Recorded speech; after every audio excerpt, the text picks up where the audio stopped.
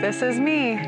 as I am. I just wanted to post something that was real and kind of captured a little bit of my personality. In today's world and social media, women especially are, are becoming very selective about the images they choose to post, and we're only willing to show our best features, our best angles, and we're not willing to show the world who we really are.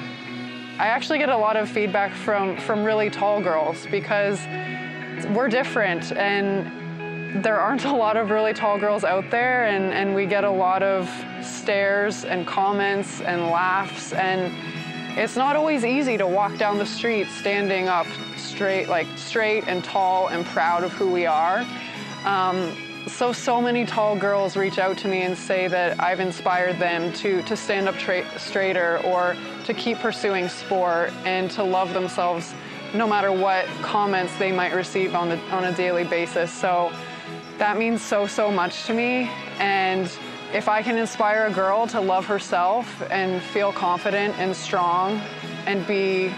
grateful for what she has been given, then then I'll feel really good about that.